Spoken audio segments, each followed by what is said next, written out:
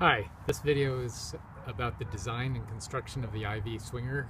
This is an IV curve tracer.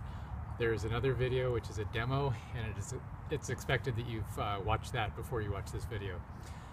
Um, so I'm just going to try to discuss uh, something about the design, but it's not going to be enough detail for anybody to actually replicate it.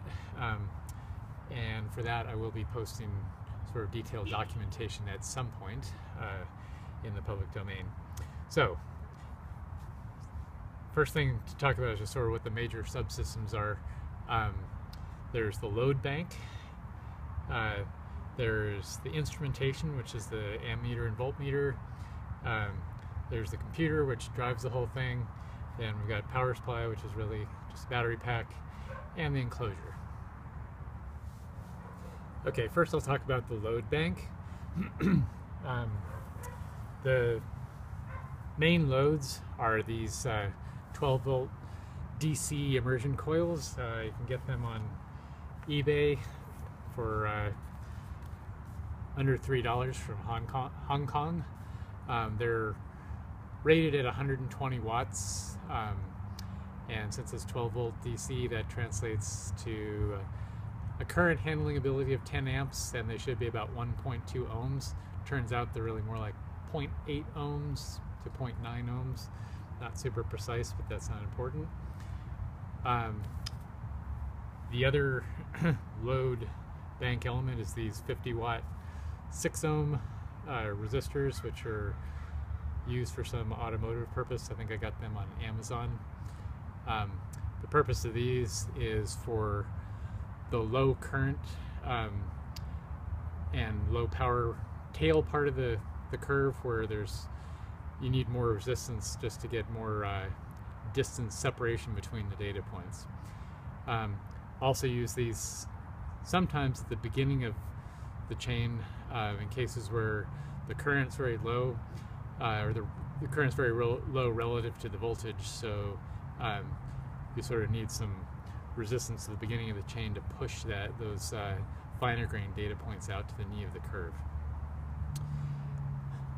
The other sort of component of the um, the load chain is heat sinks, which uh, for the the coils, basically they are uh, around this aluminum bar, which actually needs a little bit of aluminum foil over it to get the diameter large enough to be a tight fit.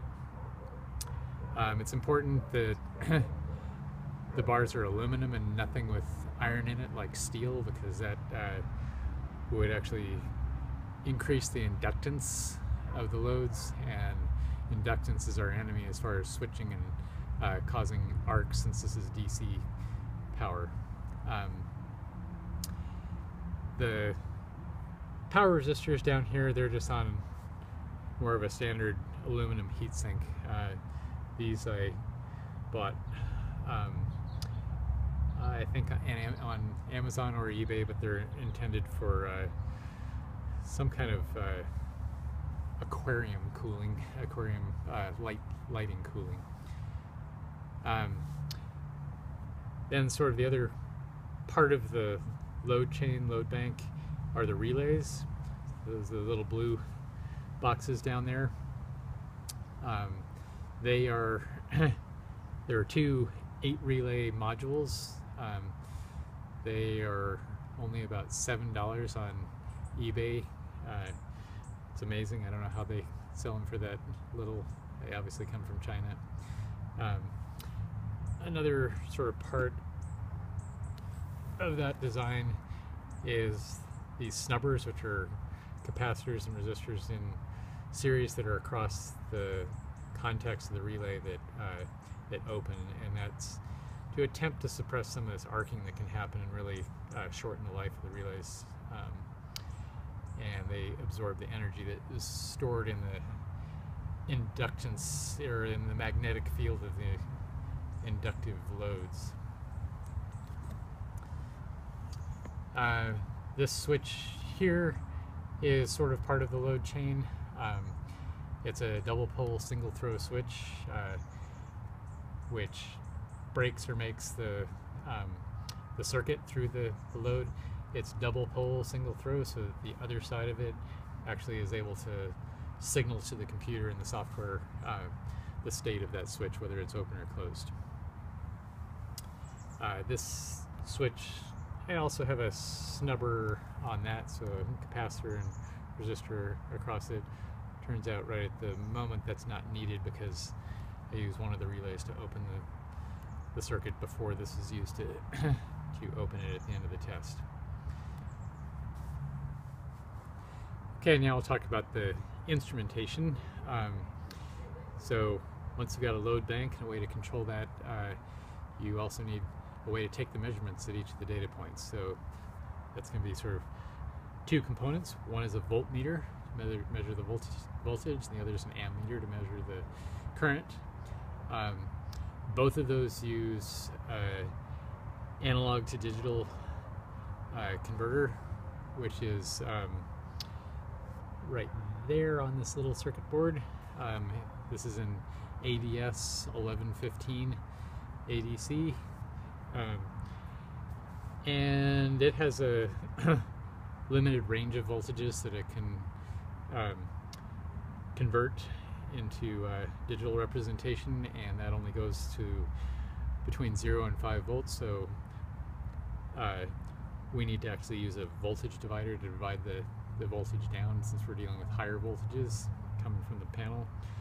Um, so that's just a, a, simple voltage divider with with resistors.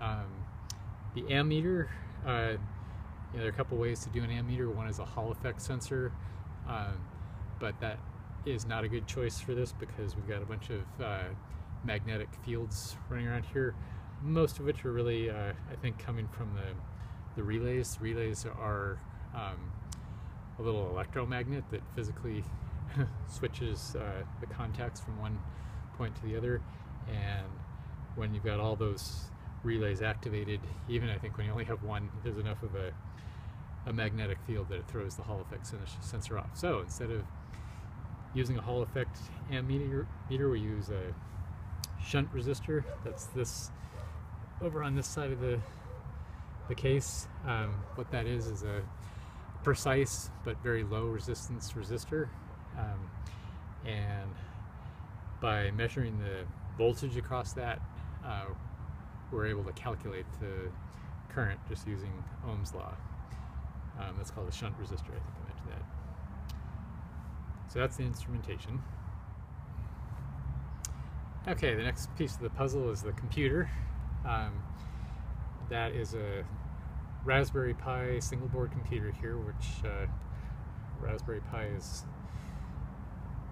very popular little device now.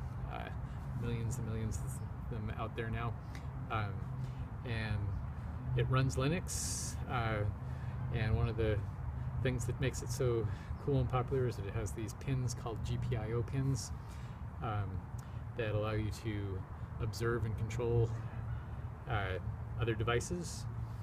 Um, there aren't enough of them actually to control as many things as we want to. We've got 16 relays, so there's actually this little uh, expansion board that plugs into the GPIO pins and um, that's called a slice of pi O.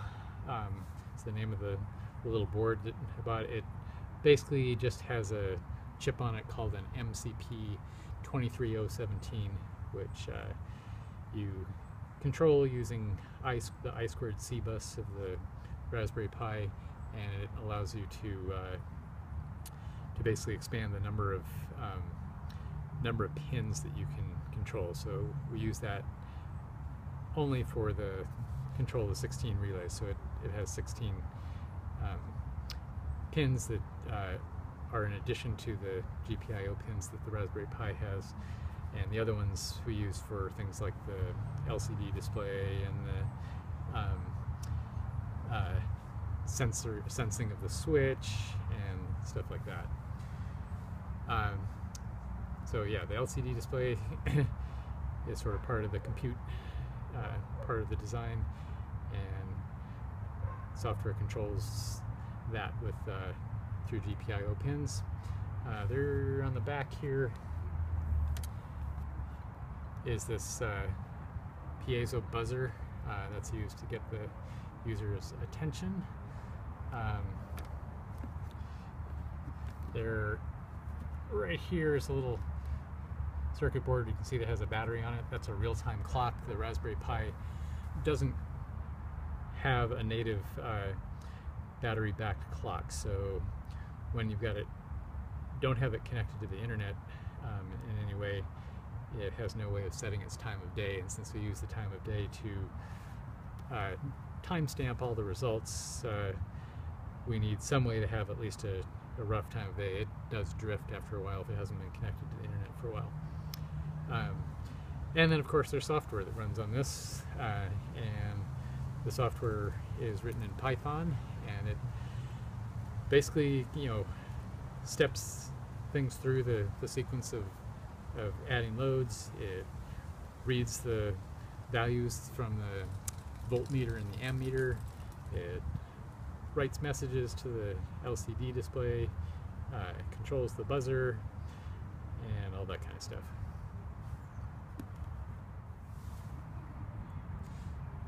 So all that's left really is uh, power supply, um, which is this battery pack down here. This is a EasyAcc brand 12,000 milliamp hour uh, battery pack, which you know is intended for people to recharge their cell phones or run their iPad and that sort of thing. Uh, it has USB ports, and so those are used to connect to the Raspberry Pi, which is the one thing that it powers. But uh, the other thing that actually needs a lot of power are the relays, because again, they are um, little electromagnets there, and that actually takes a fair amount of power to energize those. And when you've got 16 of them all in the energized active state, uh, it's actually drawing a fair amount of power. So um, battery pack needs to be able to handle that. And last but not least is really just this enclosure. Um, this is not meant for practicality, it's more meant uh, to allow you to see what's inside, which is a lot cooler looking than if it had just been a closed black box. Um, and this uh, was about $20 on eBay, and its real intended use is as a display case for little miniature airplanes. So, that's just a really broad brush uh, overview of the design. As I said, I will be posting uh, detailed design information in the public domain at some point, but I haven't uh, actually written that yet. So I'll update the this video with the information of where that is once I've done that.